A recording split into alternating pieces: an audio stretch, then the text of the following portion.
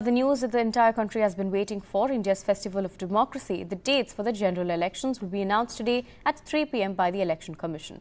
The ECI had uh, posted a brief statement on Twitter saying that the announcement will take place today for the Lok Sabha elections as well as uh, four assembly elections scheduled to be held around the same time. Uh, now, the model code of conduct, remember, will come into force from the time that the dates are announced. Uh, remember, in 2019, the election was held uh, over seven phases from the 11th of April to May 19th. Uh, we're yet to, of course, the, uh, the dates for this year.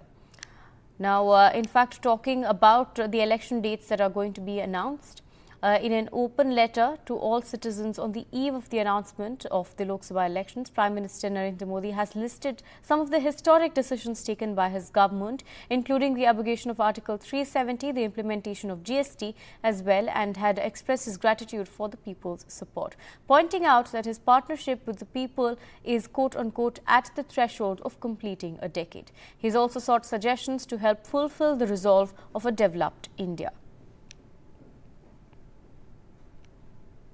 I have my colleague uh, Aishwarya Jain joining us uh, from outside uh, the Election Commission office in New Delhi.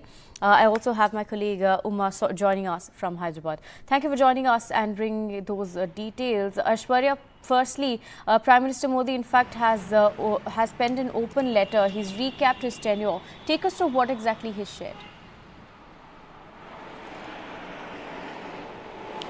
Uh, well, uh, that's the letter which Prime Minister had shared, uh, and this letter clearly states about the achievements of government which uh, in, in, during the NDA government that has been for the last 10 years. Certainly, uh, Uh, Prime Minister had uh, remembered about uh, the uh, demonetization era, also about you know the transformation that has taken place in the last 10 years as far as the transformation outcomes of the results of the sincere efforts made by the government to to better the life of quality of the poor as well as farmers, youth and women.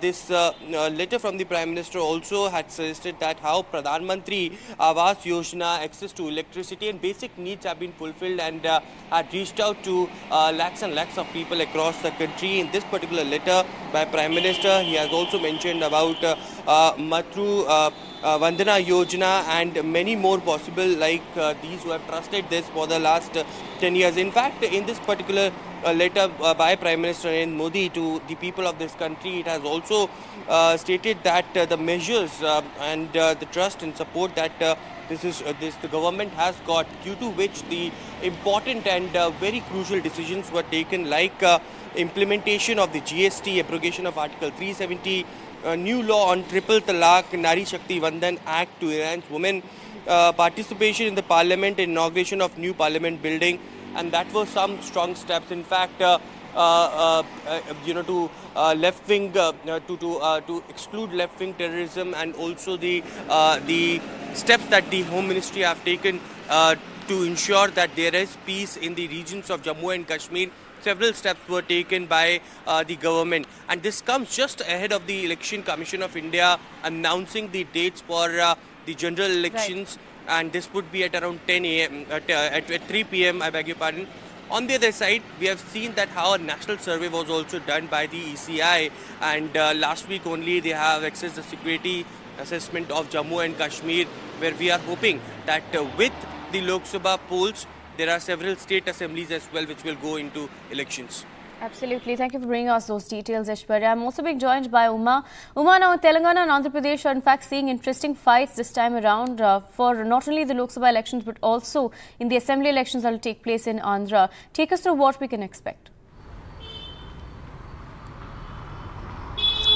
So, on the eve of uh, the Election Commission announcing the uh, dates of the general elections as well as the assembly elections uh, in some states including Andhra Pradesh, Odisha and Arunachal Pradesh, uh, what we are uh, seeing is the Prime Minister's letter and always we have seen Prime Minister Modi come up with something new to be able to attract the attention of the people. Yesterday, of course, he was uh, in Telangana in the evening roadshow, 1.3 kilometer roadshow that he conducted in Malkajgiri and at the end of it, he in fact did not uh, uh, uh, address any public meeting because it also happened, I must say, on a day of quite a dramatic development here, or quite an important development here politically of uh, Kavitha's arrest, the daughter of uh, former Chief Minister KCR.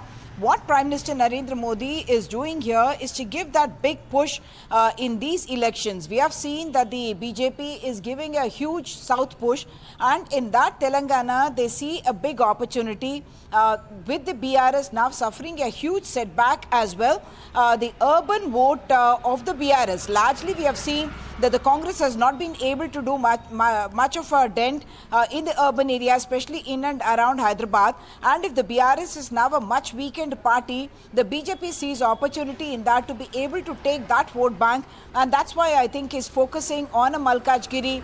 Uh, you had Kishan Reddy along with him, of course, his union minister and also Secunderabad MP, who is also the candidate uh, for the Secunderabad Lok Sabha poll. And uh, the BJP certainly is also targeting uh, Hyderabad, where uh, there could be, they would hope, an upset in that sense that Asaduddin Owaisi has been MP from there for multiple uh, terms. And now for Madhavi Latha, a political uh, coming there and challenging Asaduddin Owaisi Right. there on multiple fronts. So, uh, in and around Hyderabad, whether it's Chevella, whether it is uh, Malkajgiri, whether it is Secunderabad Right. or Hyderabad, that push is what the uh, Prime Minister would be hoping to be giving through this. And today he will be going from Hyderabad. He stayed overnight at Raj Bhavan and he will be going, in fact, to Nagarkurnool, where he will be uh, uh, uh, campaigning for.